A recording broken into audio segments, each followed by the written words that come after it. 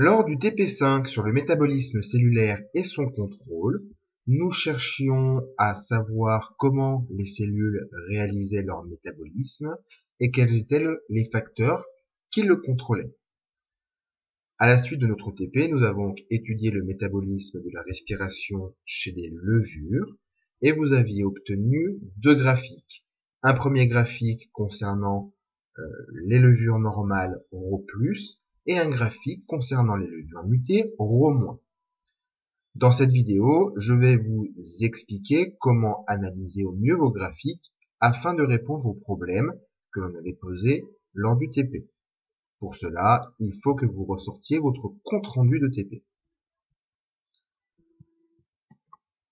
Sur les courbes que vous avez obtenues, il va falloir les annoter en donnant un titre et en donnant une indication du moment où vous avez provoqué un changement lors de votre manipulation. Ici, rappelez-vous, vous aviez ajouté du glucose aux levures à un moment précis. Pour donner un titre, nous faisons toujours la même chose. Nous décrivons l'évolution de ce qui est mesuré en ordonnée. Ici le dioxygène. En fonction de la variable en abscisse. Ici le temps. Vous avez donc pour vous deux levures l'évolution du dioxygène en fonction du temps, soit pour une levure Rho+, soit pour une levure Rho-. Le graphique que je vous affiche ici nous montre l'évolution du dioxygène en fonction du temps pour une levure normale Rho+. Lors de cette manipulation, nous avons provoqué un changement en ajoutant du glucose.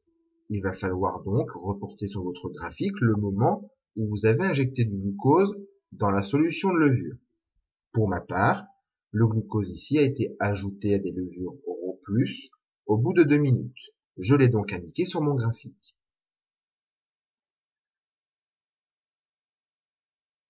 Une fois ceci réalisé, nos deux graphiques annotés, nous allons pouvoir les analyser. Pour analyser un graphique, il y a des mots qu'il ne faut pas utiliser puisqu'ils ne sont pas rigoureux, comme les mots courbe, monte, descend, évolue et varie.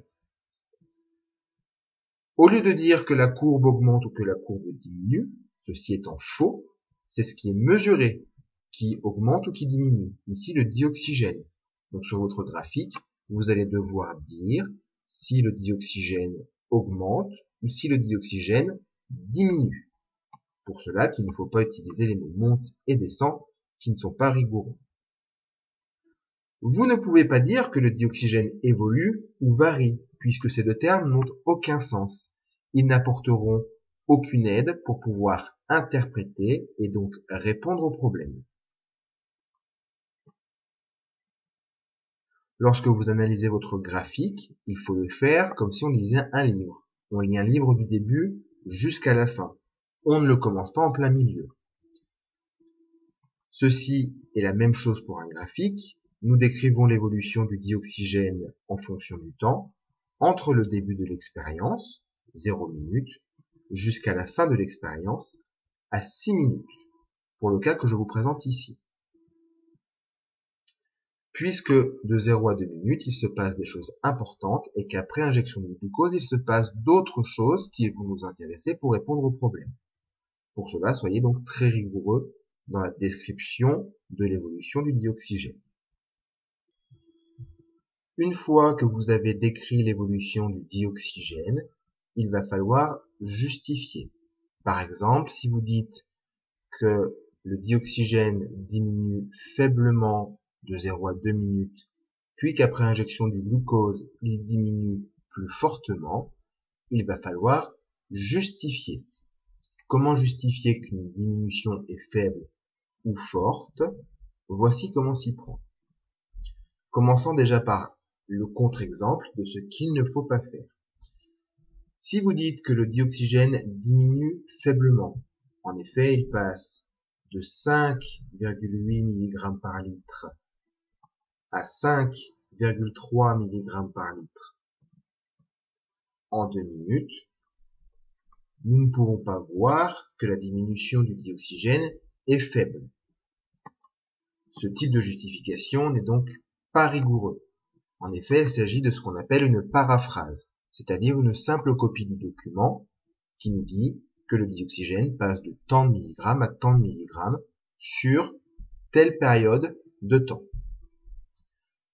Pour pouvoir justifier que la diminution du dioxygène est faible sur les deux premières minutes, il va falloir que nous indiquions l'écart qu'il y a entre le début et les deux minutes.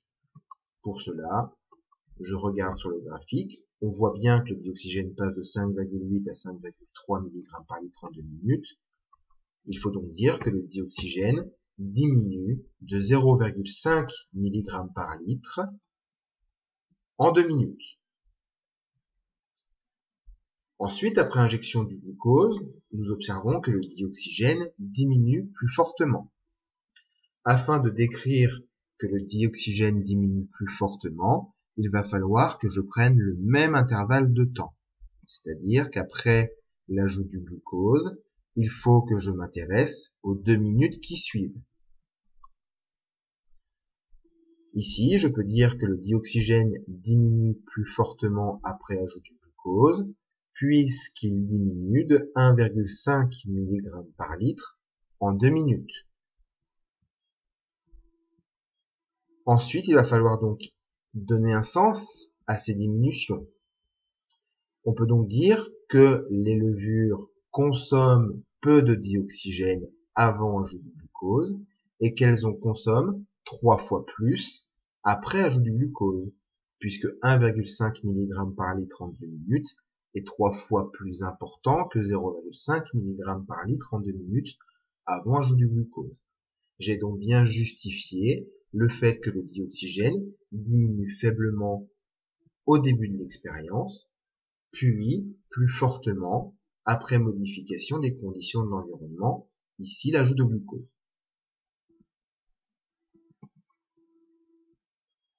Si sur votre graphique vous avez une première période sans glucose, du moins il y en a quand même dans le milieu des levures, mais très peu, si la première partie de votre graphique fait 4 minutes et qu'après ajout du glucose, vous pouvez analyser votre graphique que sur 2 minutes, faites bien en sorte à décrire seulement le graphique sur deux intervalles de temps identiques. Une fois que vous avez décrit ce que vous observiez, on n'observe que, il va falloir apporter ce que l'on sait. Ce qui nous intéresse ici était l'ajout du glucose et l'étude d'une levure mutée.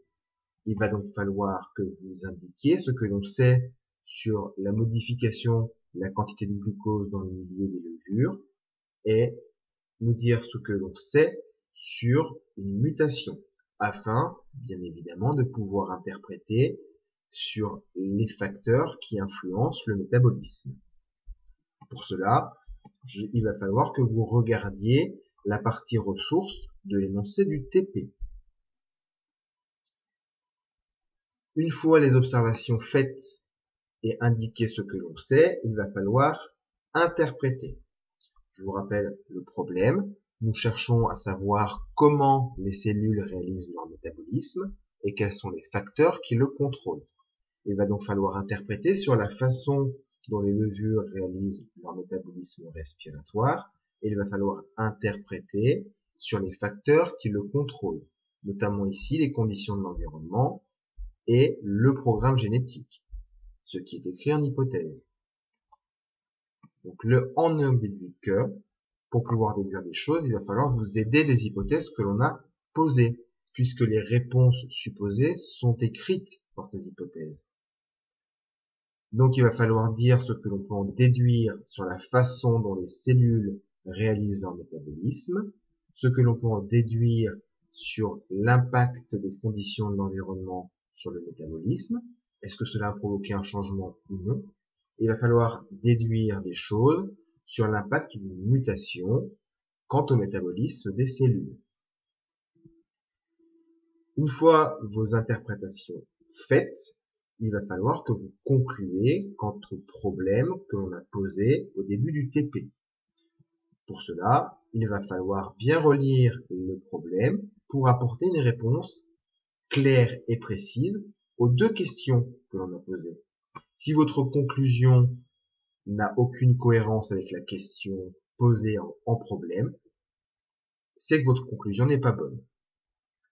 Comment les cellules réalisent leur métabolisme? Votre conclusion doit commencer par les cellules réalisent leur métabolisme en et vous complétez en fonction des interprétations que vous obtenez.